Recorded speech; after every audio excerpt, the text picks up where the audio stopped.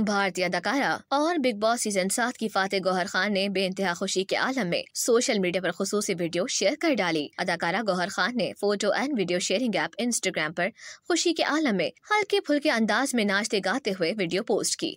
Maskura video में गौहर खान अपने पुराने लिबास को पहनकर खुशी के आलम में पंजाबी जबान में कह रही है की, हाय, मैं इतनी सोनी लग रही हूँ, कहीं मुझे नज़र न लग जाए। मस्कूरा वीडियो को सोशल मीडिया की जीनत बनाते हुए उन्होंने इंतहाई दिलचस्प कैप्शन तहरीर किया, जिसके अल्फाज कुछ यूँ थे कि, इन्नी सोनी सोनी, ये पागलपन सिर्फ़ इसलिए है कि मुझे अपना आठ साल पुराना जोड़ा आज भी फिट है, अल्हम्दुलिल्लाह, आज भी मेरा साइज़ वही पुराना है।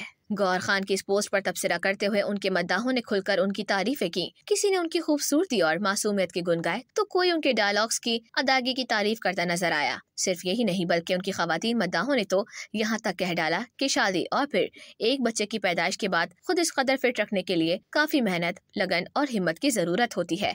लेकिन जिस तरह गौहर ने खुद को भारतीय फिल्मी दुनिया में मनवाया, बिल्कुल उसी तरह अपने आप को दोबारा फिट करने के लिए भी उन्होंने खूब मेहनत की है। वाजे रहे की अदाकारा गौहर खान की इंस्टाग्राम रील इस वक्त सोशल मीडिया आरोप खूब मकबूल है और इसकी मकबूलियत का मुँह बोलता सबूत यह है की इसे अब तक लाखों लोग लाइक कर चुके हैं।